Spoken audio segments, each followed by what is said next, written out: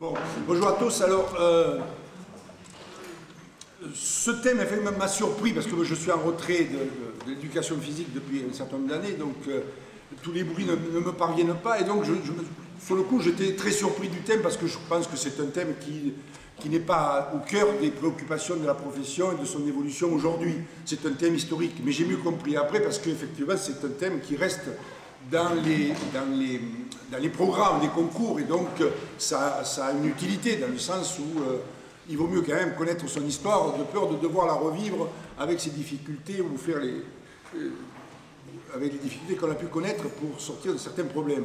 Donc c'est tout à fait légitime, mais c'est une question plus de, dire, de, de réflexion sur l'éducation physique son histoire qu'un problème, disons, de, présent concrètement présente de l'éducation physique. Donc j'étais un peu surpris, mais je, le comprends. Et puis la deuxième chose, alors, euh, chimère ou réalité, c'est une réalité, encore faut-il savoir de quoi on parle. Qu'est-ce que c'est qu'un courant? Qu'un courant, les courants font des grandes rivières, c'est pas, pas négatif, mais euh, euh, voilà, il, est, réel qu'il y a eu des courants. Mais des courants de quoi? Est-ce que c'est des courants méthodologiques, des façons de faire ou des façons de dire? Alors il est évident que sur la façon de dire, la façon de parler de l'éducation physique, alors oui, il y a des convictions qui s'opposent, il y a des courants, il y a des références des uns et des autres en fonction de leur formation, de leurs préoccupations, qui effectivement constituent à tel ou tel moment des oppositions, oppositions qui peuvent être parfaitement positives, parfois qui tournent à la querelle, qui sont plus négatives. Il est vrai que, et c'était ça, été ça tout le long de ma carrière, comme celle de beaucoup, c'est que d'arriver à résoudre des contradictions qui passaient pour des querelles, alors c'était souvent simplement des, des, incompréhensions ou des positions prises de points de vue différents ou en privilégiant telle ou telle chose. Car le nœud de l'histoire, euh, dans tous les domaines, c'est effectivement comment approcher la complexité. L'éducation, c'est une complexité. C'est très difficile de parler de, tous les déterminants d'une situation, de tout ce qui intervient, de toutes les façons d'aborder un chemin. Pour, pour, gravir une montagne, il y a plusieurs chemins. Quand on est sur des chemins différents, dans le même but, on ne voit pas les mêmes choses. Et quand on communique par téléphone, par tout ce que vous voudrez, effectivement, on ne voit pas les mêmes choses. Et donc, ça peut aboutir à des oppositions.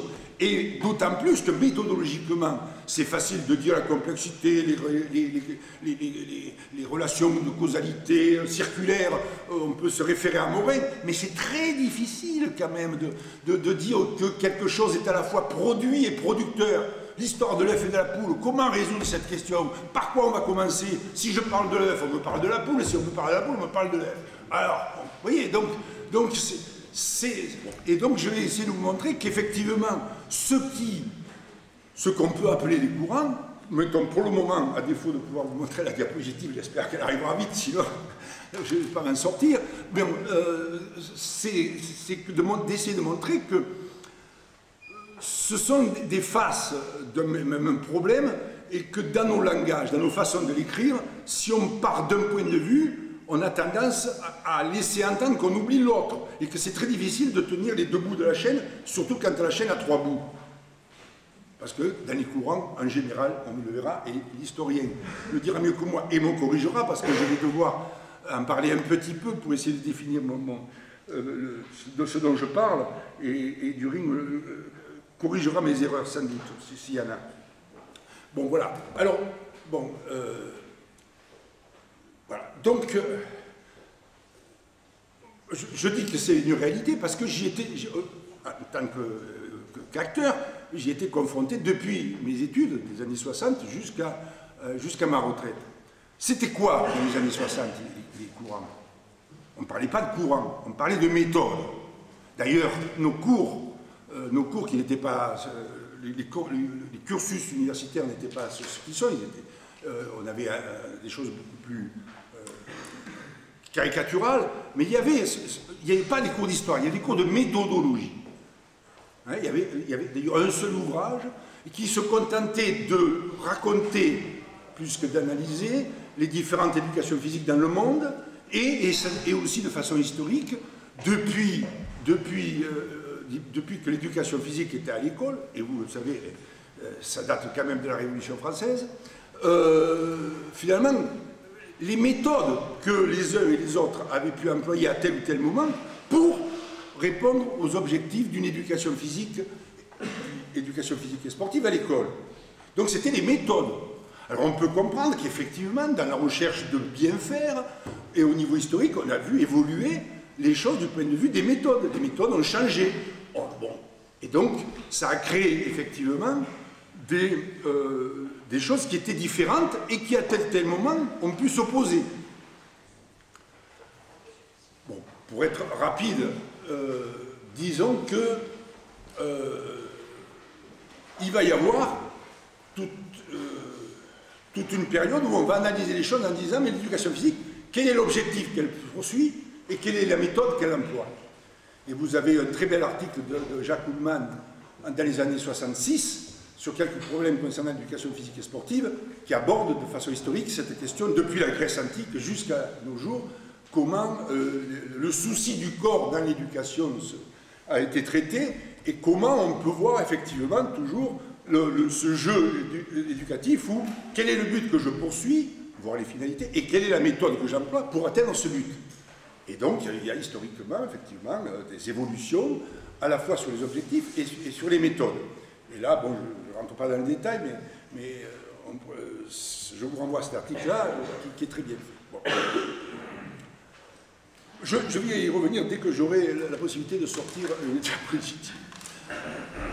Je, change un petit peu de perspective, mais je reviendrai à, cet aspect-là, évidemment, qui, qui est l'essentiel du thème. Je repars sur euh, l'éducation. L'éducation poursuit, dans, nos sociétés évidemment, poursuit euh, un certain nombre de finalités. Et là aussi, sans remonter sur à la Grèce antique, il y a toujours, d'une façon ou d'une autre, et je suis très caricatural, et, et, me pardonnera parce qu'il y, y, a des choses plus précises à dire que ça, il y a toujours trois, trois, grands pôles.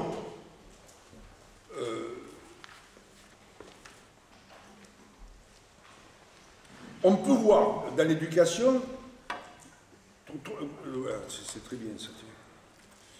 Euh, on, peut considérer que l'éducation va, s'occuper de l'individu dans ses relations à l'environnement physique et humain. Bon, dire bref. Donc, on va pouvoir analyser cette complexité qui consiste à, développer chez les individus ces potentialités en vue de le rendre utile à une société, etc. On va le voir, mais il y a trois façons de, le prendre. C'est face à lui-même, l'individu face à lui-même, face à l'environnement et face aux autres. Et ça, dans toute l'histoire de l'éducation, peu ou prou, on trouve ces trois, euh, ces trois dimensions qui sont finalement une, façon de, de d'analyser ou de voir la réalité, c'est-à-dire un individu euh, qui est positionné là, au milieu de ses semblables, dans une société, et qui vise à, développer un bien-vivre, euh, voire un bien-être, voire un bien-faire. Donc il y a lui-même, son environnement et les autres. Et c'est toujours la transmission et l'élaboration de valeurs, de savoir, de savoir-faire pour agir. Voilà quel est, globalement et trop rapidement, situé le problème général euh, de l'éducation dans les sociétés, dans les différentes, sociétés. Alors évidemment, après, ça va prendre des formes différentes. Mais l'objectif, grosso modo, on ne peut pas le voir, enfin, c'est une façon de le voir dans, trois dimensions. Lui-même, l'environnement, les autres. Et du coup, ça va développer, évidemment, ça va se, complexifier. alors, alors donc c'est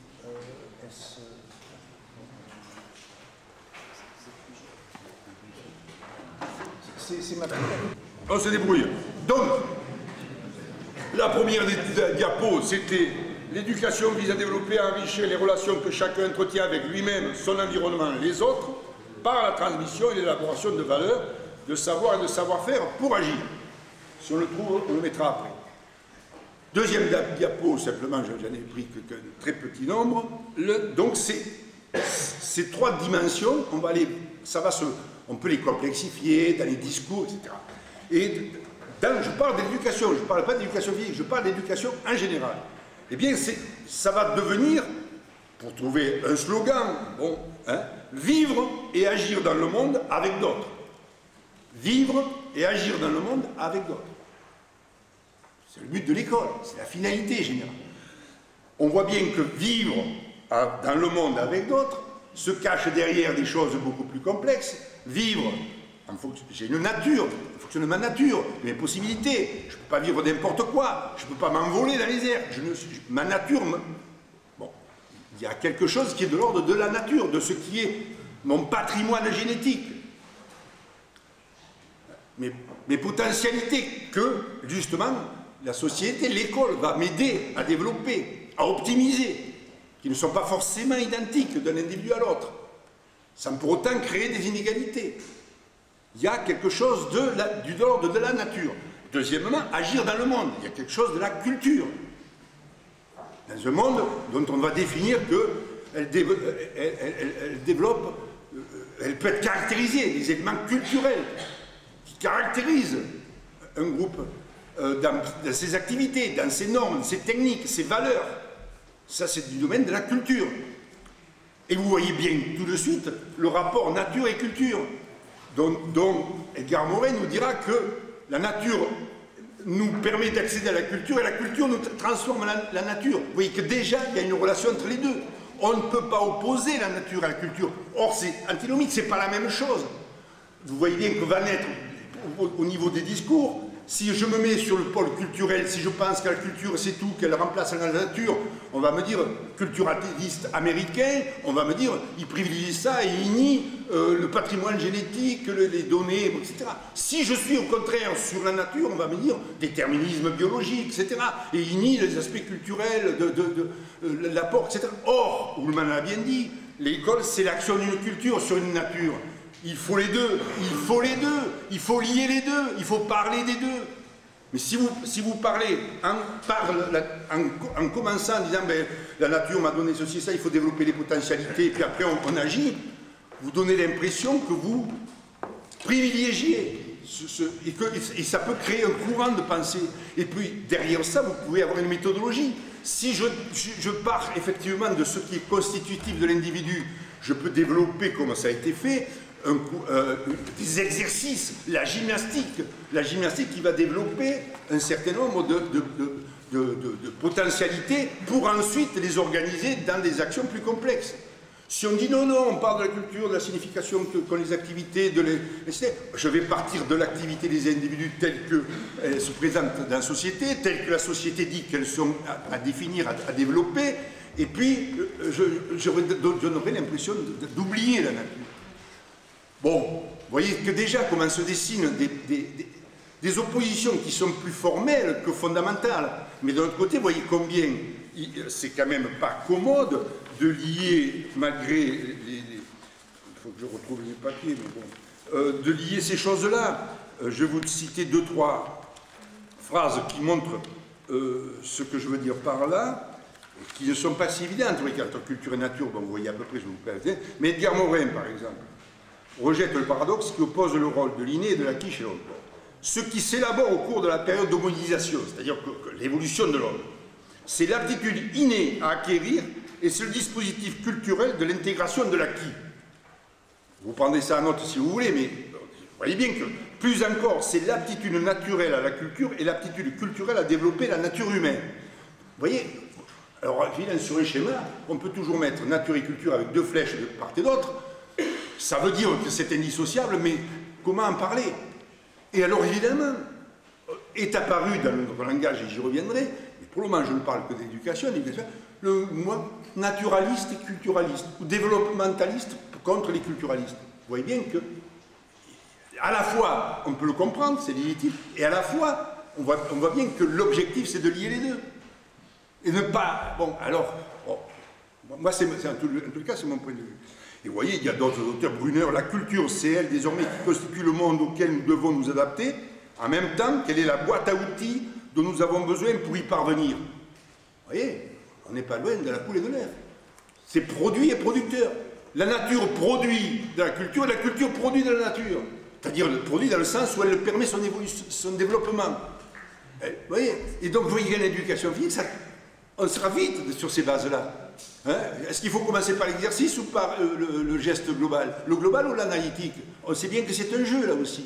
Hein, on peut pas. Et si vous, si vous commencez par l'un ou par l'autre, vous aurez le sentiment d'avoir une opposition alors qu'on cherche simplement. Alors, je ne trouve rien de mon truc là. Alors là. Ça va, ça va. C'est pas, c'est pas, c'est pas grave. Bon, alors, donc, euh, donc, si je continue, vous voyez, sur, ces, sur cette analyse finalement de ce qu'est l'éducation au sens large, vous voyez que vivre,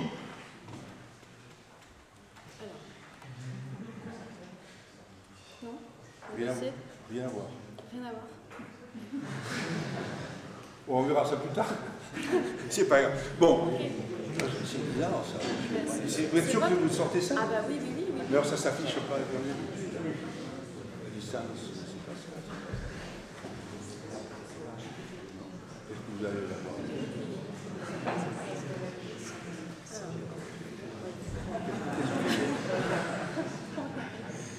Non, mais c'est la crise. Bon. Bon, ben moi je ne pas. c'est pas grave, moi je l'ai là. Il y en a au moins un qui l'aura.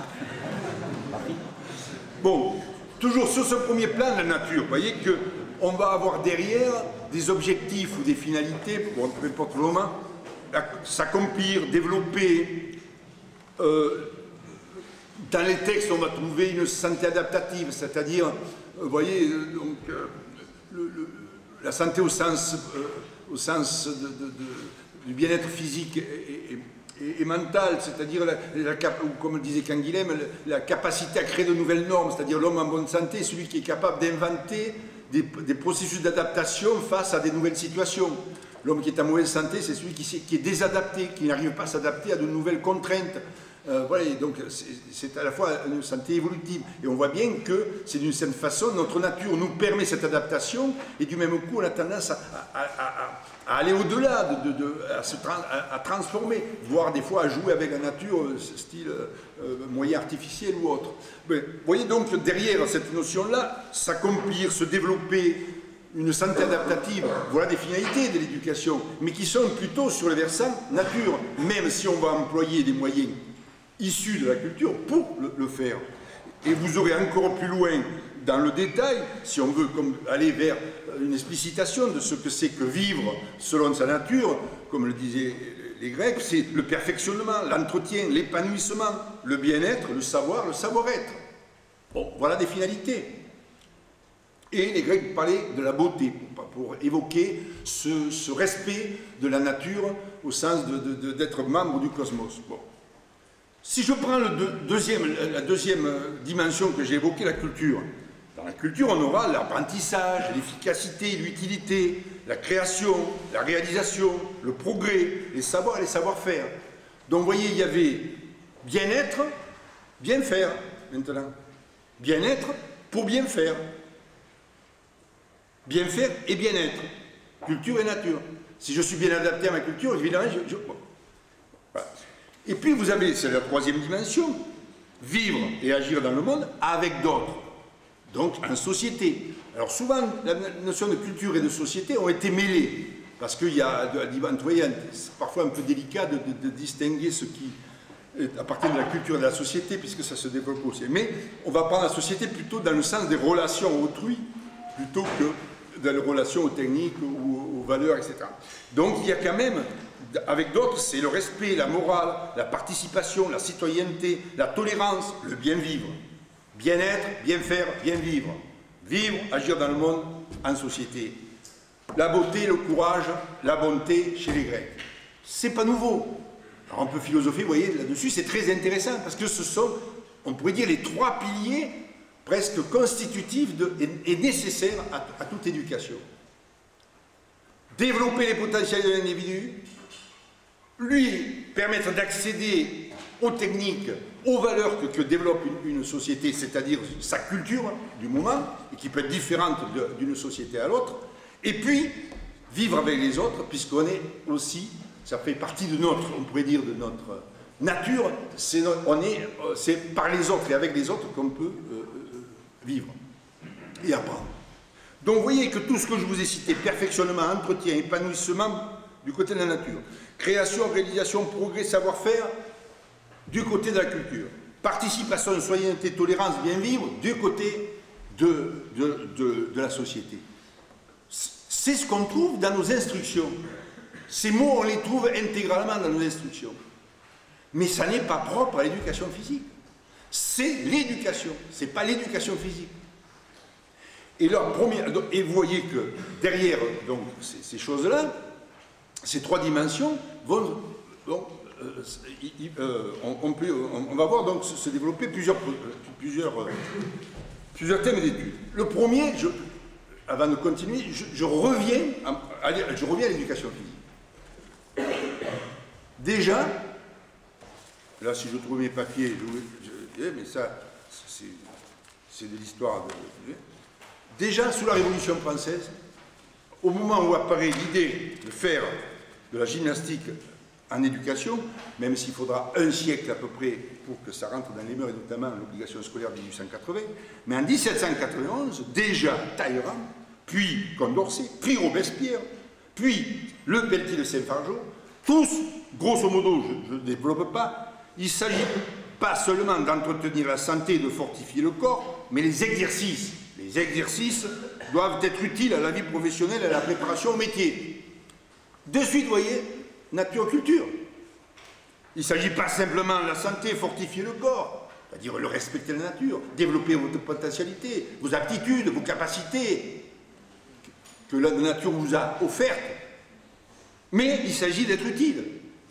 Et vous voyez bien comment le côté utile correspond aux besoins, disons, d'une société exprimée au sein de sa culture. Cette utilité, ça peut être le bon petit soldat, les, bataillons, les bataillons scolaires de 1880, mais ça peut être aujourd'hui le, bon citoyen, celui qui fait suffisamment de, jogging, etc., pour ne pas coûter cher à la sécurité sociale. C'est de l'utilité sociale, ça. Donc, déjà, il y a toujours...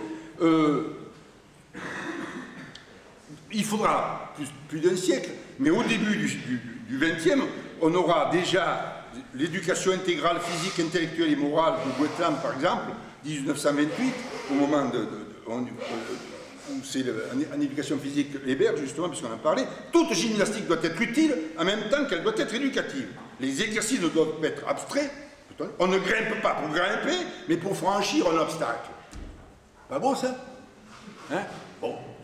Vous avez les deux dimensions. Alors, qu'est-ce qui va se passer? Dans ce contexte-là, vous voyez, déjà philosophiquement, à propos d'éducation, on parle de ça, et on parle d'exercice, de gymnastique, d'éducation physique progressivement au sein de l'école. Eh bien, il va se développer, et là, c'est là où, euh, euh, Bertrand euh, évoquera des choses plus précises que moi, on va avoir des méthodes. C'est-à-dire que pour défendre ces objectifs-là, on va chercher des méthodes.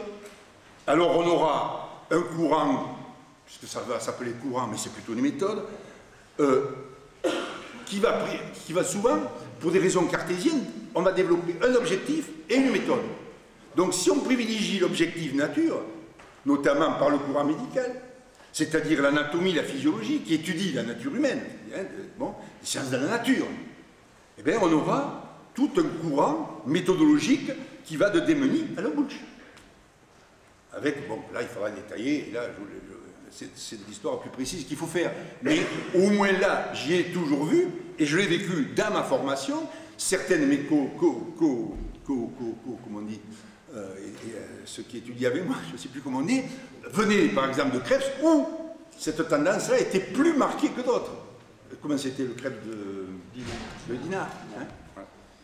Et puis il y a eu d'autres représentants de, on pourrait dire de ce courant, même si entre Démenier et le Bouche, il y a un monde il y a un monde, mais c'est quand même, si on le regarde un peu trop rapidement, c'est l'entrée par l'exercice, la gymnastique, les, facteurs de la conduite motrice. Vous voyez, on part de, l'identification qu'on peut avoir de l'anatomie, de la physiologie ou de la psychophysiologie, euh, style justement les facteurs, la thèse de Blebouche, c'est les facteurs de, la conduite motrice. Hein euh, non, pas de la conduite motrice, les facteurs de la motrice.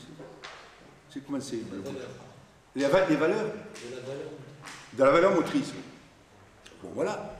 Donc, et, ça, ça c'est un courant méthodologique. C'est-à-dire un objectif, une méthode. Un objectif privilégié, finalement, développer euh, toutes les potentialités d'un individu. Pour, mais ce n'est pas simplement comme ça, c'est pour accéder à une pratique sportive, euh, euh, professionnelle, sociale.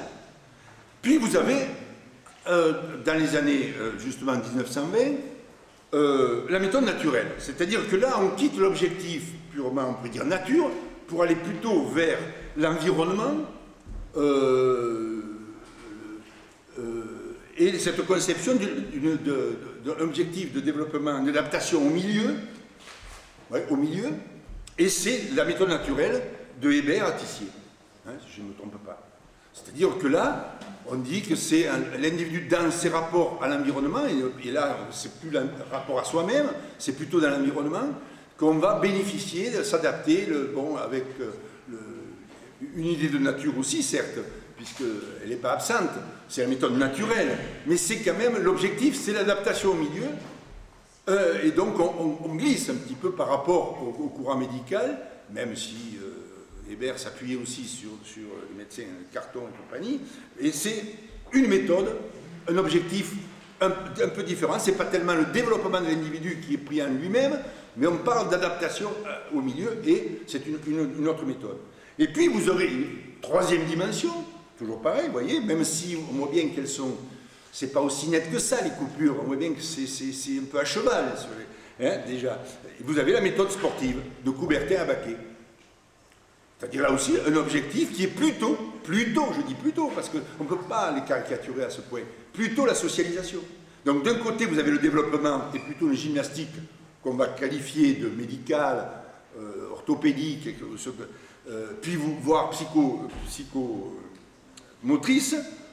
Ensuite, on a une méthode dite naturelle d'adaptation euh, des conditions euh, du, milieu. Et puis, une, activité plutôt centrée où je privilégie plutôt la socialisation, c'est-à-dire le travail avec autrui. Et j'aurai donc une méthode sportive de Coubertin à Baquet. Ça, c'était les méthodes. Bon, on peut le comprendre. Et puis, vous avez, dans l'évolution, si vous l'avez suivi, euh, 1945, 1959, ces instructions, où d'un seul coup euh, apparaît une sorte d'éclectisme, c'est-à-dire apparaît au législateur que finalement, toutes ces méthodes ont un intérêt. Donc il faut les relier. Donc on fait un peu de chaque. Je vous passe le détail de l'organisation de la leçon, partie construite, puis partie fonctionnelle, puis partie euh, sportive.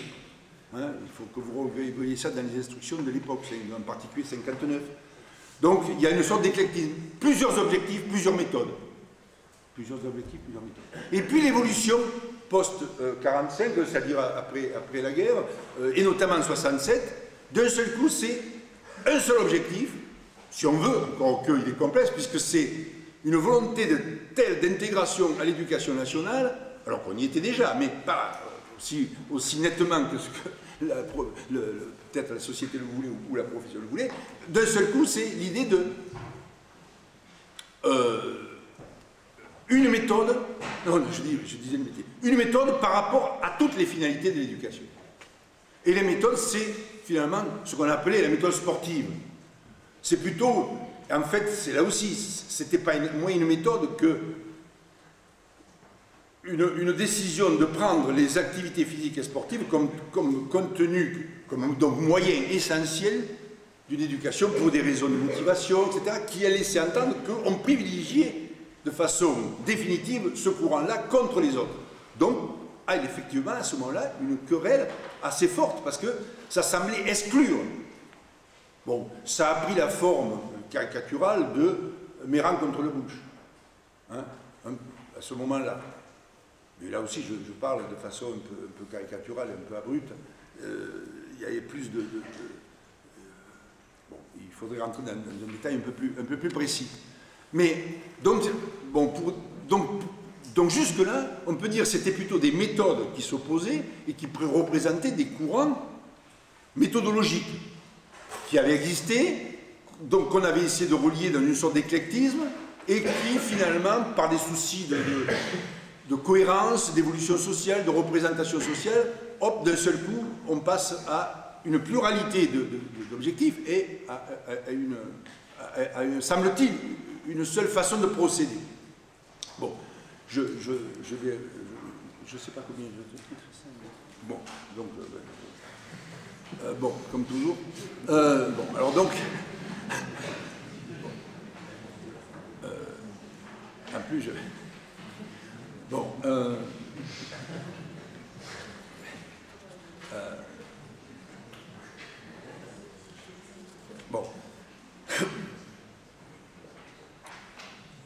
Alors, donc, nous sommes là à peu près autour des, années de ces institutions 67, où, pour des raisons, on dire, politico-sociales, le discours va se charger complètement de finalité. Et de peur de ne pas être à part entière à l'école, on va gonfler nos discours sur les finalités. Et toutes les instructions à partir de ce moment-là, commence toujours par finalité ou objectif, avec les, problèmes sémantiques euh, et quelques querelles là aussi de conception sur ce que sont des finalités par rapport à des objectifs généraux, particuliers, etc. Passons, c'est trop compliqué, mais l'essentiel c'est que on va avoir un discours saturé sur les finalités, non pas de l'éducation physique, on fait passer pour l'éducation physique, mais ce n'est pas celle de l'éducation physique, c'est celle dont je vous ai évoqué tout à l'heure, c'est celle de l'éducation. On va mettre développement organique et foncier en pensant qu'à cause de l'organique, on est sur l'éducation physique. Non, on affichera ces trois grands objectifs, finalement, euh, euh, développement des facteurs psychologiques, développement des facteurs psychologiques et sociologiques de la conduite, sans voir que toutes les disciplines le font, comme nous. Mais nous, de peur de, ne pas appartenir à l'école, on en fait notre cheval de bataille, comme si c'était que nous. Et du coup, à l'extérieur, on, nous de façon bizarre, mais qu'est-ce qu'ils donnent la leçon à tout le monde Mais il n'y a pas que qui font ça. Les mathématiques aussi développent le bien vivre dans le sens de, développer ses potentialités de représentation du monde, de, lecture du monde, de compréhension de la complexité. Les mathématiques aussi permettent d'accéder à, une utilité sociale en étant ingénieur, en développant des, savoir-faire sur le monde, une maîtrise technique du monde, etc. Les mathématiques aussi permettent des relations sociales, euh, bon, un peu moins peut-être que d'autres, mais la volonté, l'ensemble des disciplines concourt à ces trois grandes finalités. Et nous, on affiche ça en grand. Alors effectivement, politiquement, c'était très important en 67 de marquer que l'éducation physique, comme les autres disciplines, développe ses finalités éducatives. Et vous voyez que derrière ces finalités éducatives, il y a trois dimensions, et que ces trois dimensions, si on les privilégie, on va retomber dans des, courants méthodologiques, voire des conceptions méthodologiques. Et, ça, c'est mon point de vue, mais mes collègues euh, diront peut-être d'autres choses là-dessus. Mon, point de vue un peu caricatural, c'est de dire, c'est plus des courants. À partir de là, on va avoir des oppositions de langage d'abord, mais aussi de conception plus profonde, et par le bas, ça le dira plus, mieux que moi, euh, pour l'avoir, lui, euh, vécu de façon... Ah ben, ça, ça, ça, va être moi. Ah, on est taillé par tout ça. Bon, euh, vous avez le droit de remettre les trucs à la fait. Bon, qu'est-ce que je disais? Euh, hein? Oui, oui, oui. Donc, donc, à partir de ce moment-là, c'est le discours tenu à l'éducation physique, selon qui va se présenter en privilégiant plutôt la dimension culture, culture sportive, phénomène social, qu'est le sport, etc., va être dit culturaliste. Si on évoque encore la possibilité d'une éducation physique fondamentale, où on cherche des fondamentaux, des universaux, ou des choses, des compétences plus générales qui rassemblent au travers des, différentes activités, au travers des classifications d'activités physiques, on va être qualifié de développementaliste, voire de, secteur naturel. Et si on développe euh, une approche plus socialisante, tenant compte des représentations sociales des élèves, euh, du, voire du genre, et là, euh, Nick Davis parlera évidemment de cette dimension-là, je crois, alors on, dira c'est plutôt un courant qualifié de, social, je ne sais pas comment il peut être qualifié, d'où, vous voyez, les réticences après des uns et des autres à dire mais c'était pas un courant, c'était plutôt des convictions, des analyses personnelles qui n'éliminaient pas les autres. Mais c'est vrai que dans les discours, on a eu des oppositions euh, parfois assez vives, euh, voire des incompréhensions, voire des oppositions, alors qui après se traduisaient dans des stratégies, euh, disons, de développement de la profession. et là, je ne rentrerai pas dans, ce truc-là parce que c'est encore, bien autre chose.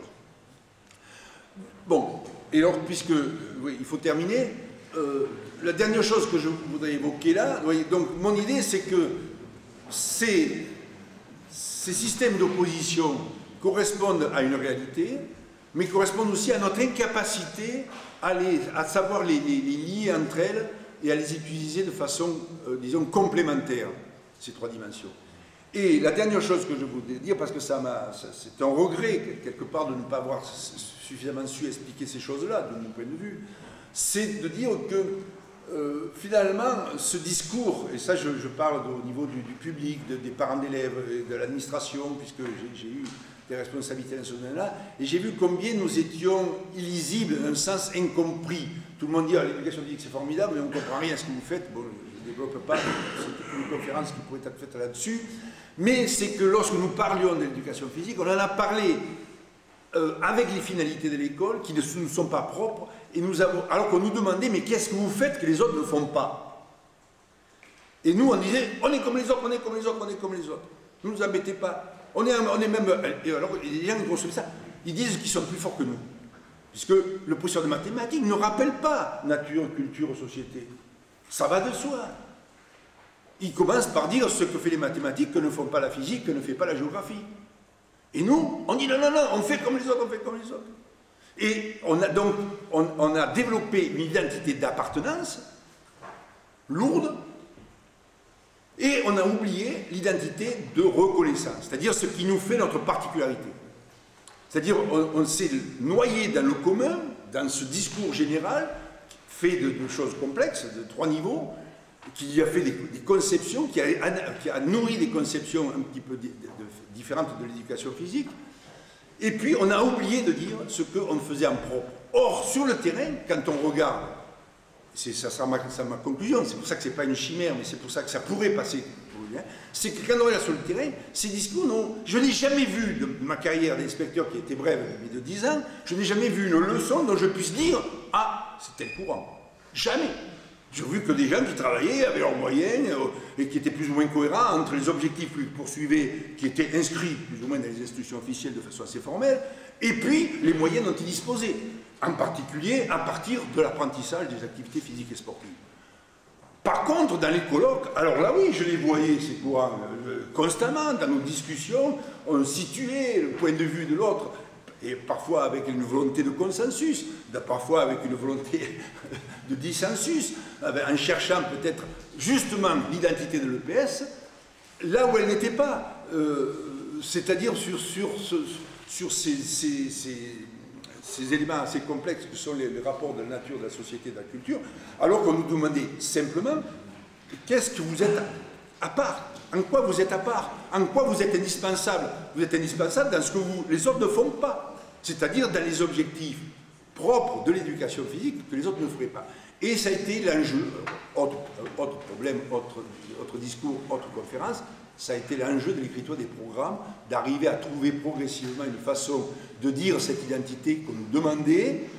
L'identité, donnez vos papiers, eh les papiers c'est les programmes, c'est très formel, ça n'a pas tellement abouti, et je dirais, de façon un peu ironique, parce que maintenant je suis loin, je ne crois pas qu'on y soit encore arrivé. Et vous avez encore du chemin à faire, parce que les compétences culturelles, en tant qu'identité pour les parents d'élèves, etc., c'est pas le plus lisible.